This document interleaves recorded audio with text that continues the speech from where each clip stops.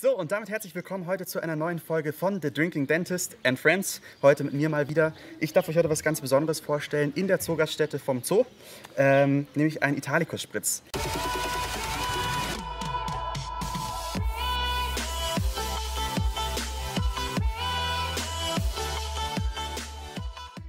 Dafür habe ich den wunderschönen Italicus, einen Bergamottenlikör aus Italien.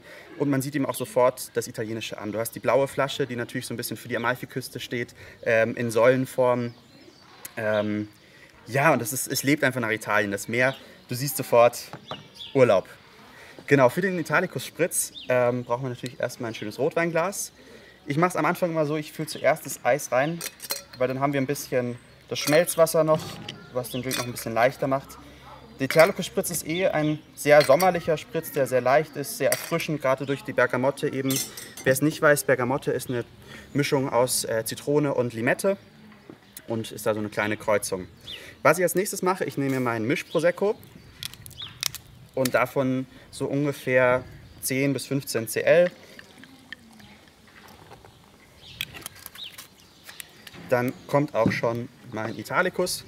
Ich mache davon immer ein bisschen mehr, weil es ein sehr leichter Likör ist. Machen wir 6 Cl vom Italicus. So.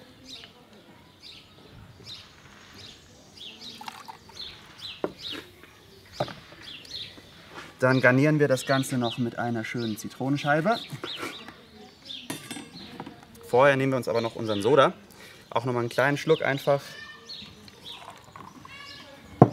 eine Zitronenscheibe und dann für die italienischen Aromen nehme ich noch ein bisschen Rosmarin und zwei schöne Blätter Salbei.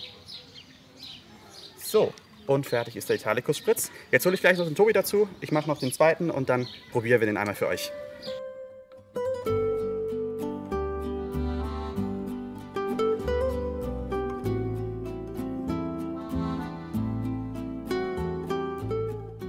Damit haben wir jetzt unsere zwei Spritz fertig. Nochmal ganz kurz zum Italicus. Der wurde von Giuseppe Gallo äh, entwickelt. Rund 2017, glaube ich, ist das her. Ähm, in Italien. Und ja, der äh, Alkohol hat 20 Prozent. Also eigentlich was, was schöner, lockerer Likör. Und äh, durch die frischen Noten ist es auch gar nicht so schlimm. Jetzt holen wir einmal den Tobi dazu von der Zuckerstätte. Und ich würde sagen, wir probieren das Ganze mal. Wir sind alle negativ getestet, also alles unter den Richtlinien okay. Und sagen Tschüss. Zum Wohle. Danke. Ah, herrlich. Schon, also es ist, man merkt, ich finde, du hast sofort die Frische drin, eben auch so ja.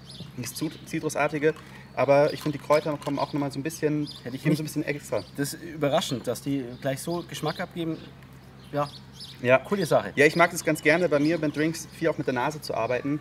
Und dadurch, dass wir jetzt keinen Strohhalm, also ich finde Strohhalme bei Spritzgetränken furchtbar. Ähm, dadurch, weil du gehst ja mit der Nase direkt ins Glas rein und hast dann natürlich sofort alle Aromen vollständig drin. Genau, und das ist der Italicus-Spritz. Zum Wohle. Zum Wohl.